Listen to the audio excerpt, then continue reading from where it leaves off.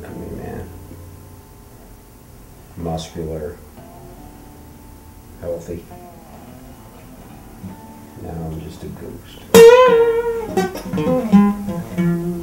My name is Howard Ressler. I am nine-time world extreme banding champion.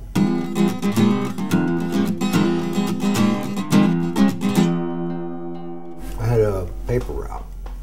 And they gave us all these little tiny blue-green rubber bands to wrap around the papers, you know, so we could throw them onto the porches. So they were just always around. I just would play with, you know, and I, I'm an only child, so you just busy yourself the best way you can, you know. So I just I made different things with them, and next thing you know, you're walking through arenas trying to shoot other people.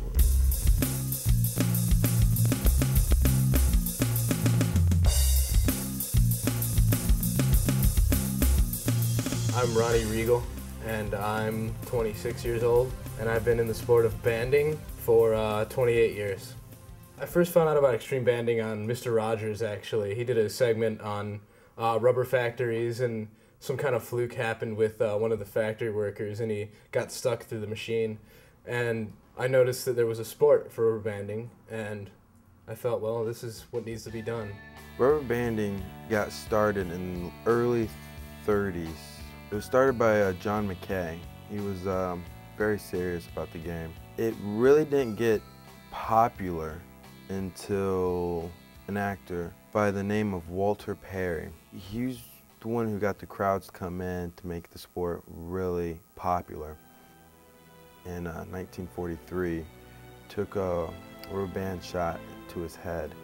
It really got really intense after then. I mean, it's, that's how we got the rules now, but that's that's what changed it. That's what uh, that was really a day that really changed rubber band sports. The day that Walter Perry passed away.